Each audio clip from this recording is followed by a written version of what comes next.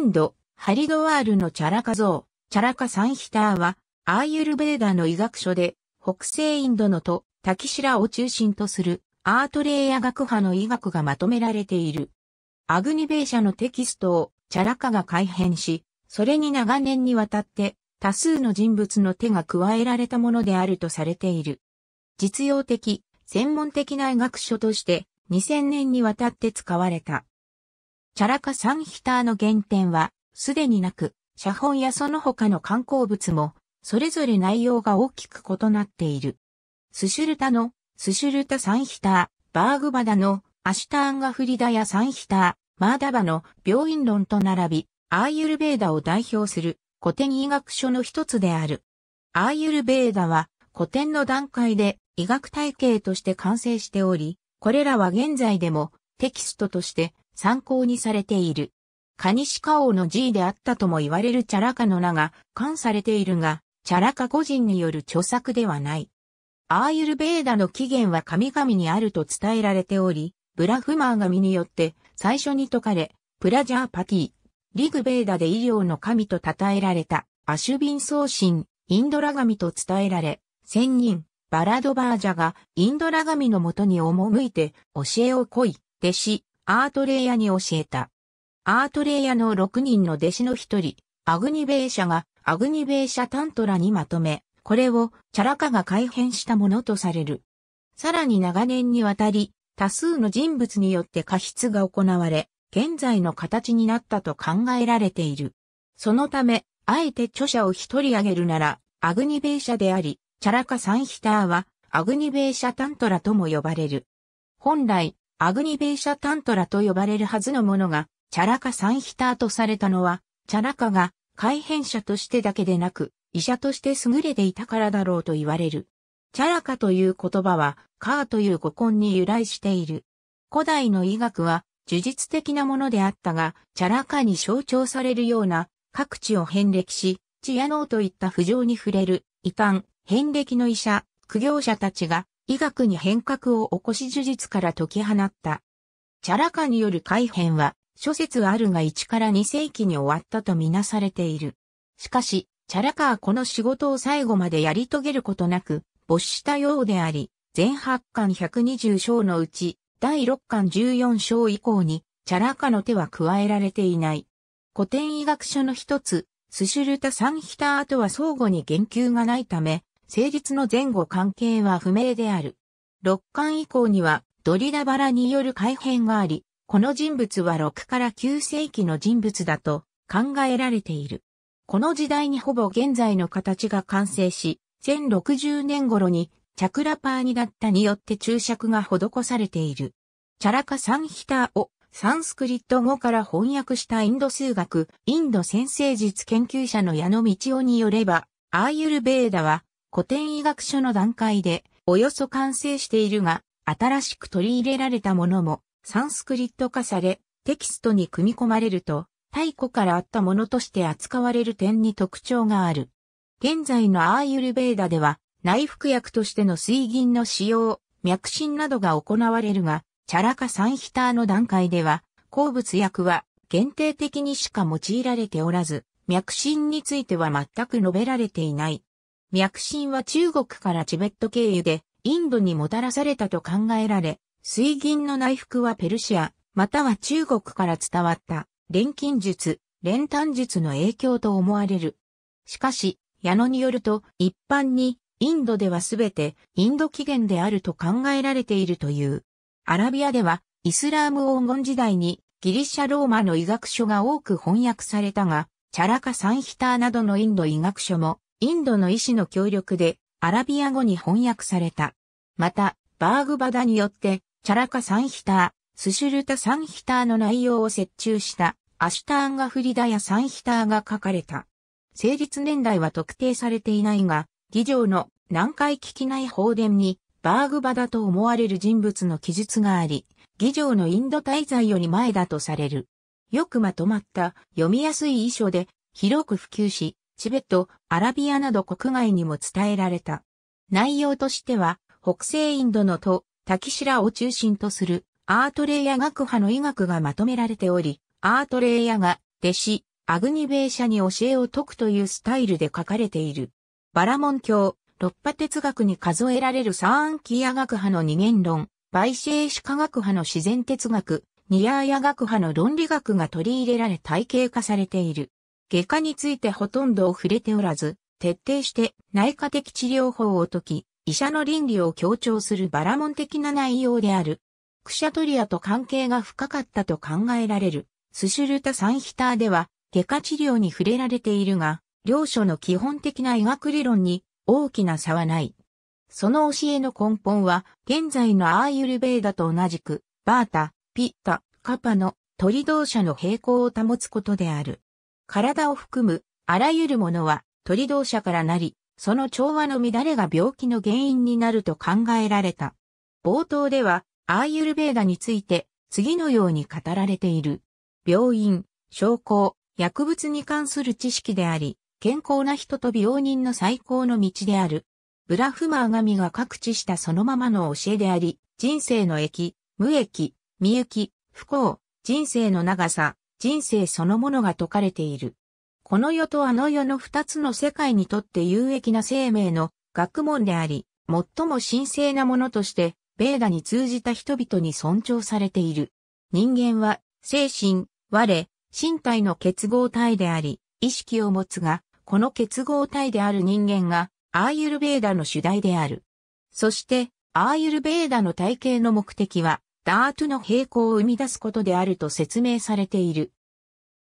身体的病素である鳥同社は、霊言鳥に基づく薬物によって鎮静し、精神的な病素であるラジャスとタマスは、知恵、学識、意志の強さ、記憶力、精神統一によって鎮静する。体と精神が病気の期待であり、また幸福の期待であるとされた。幸福は、自、思考器官、感覚対象の調和の結果である。病気の原因は、自、思考器官、感覚対象の誤った結合、結合のないこと、過度な結合、この三つに要約される。インドの医学書は暗唱を前提とするため、チャラカサンヒターは陰文と三文の混合体で書かれており、大切な内容、各章の要約はすべて陰文である。記憶を助けるために、ミカ、五根、五両方、十根、三十二種の薬、六百の浄化剤、五種類の調整法など、重要な事項はすべて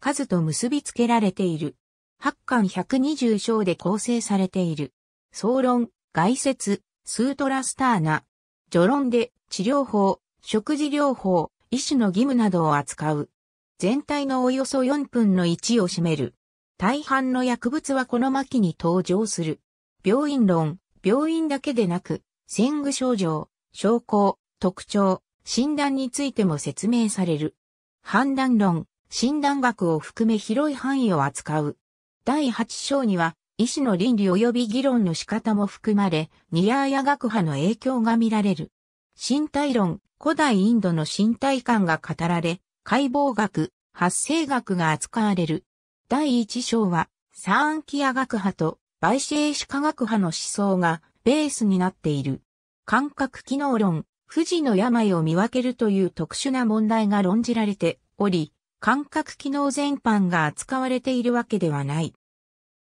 治療論、治療法を扱う。本書の中核をなす、最も長い末期で4904節と全体の半分以上を占める。最初の2章は、不老調整学、強制法が取り上げられている。制約論、主成分となる12の植物によって12章のタイトルが付けられている。末期の最後には、薬の調合に重要な重さの単位が説明されている。完結編パンチャカルマが説明されている。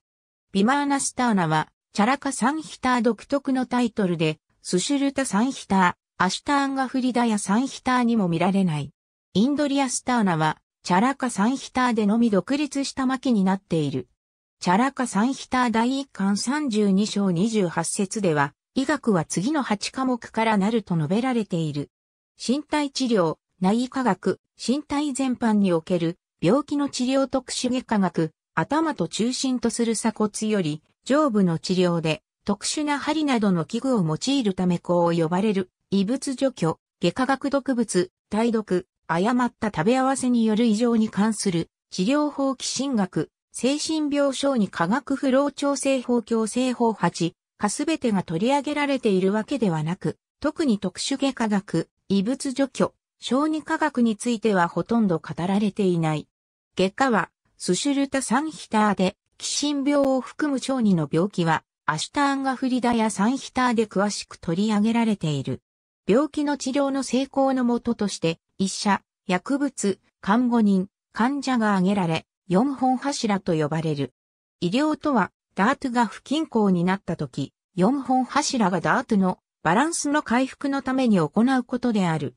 それぞれの望ましい資質は次の通りである。以上の16の性質が治療の成功のもとである。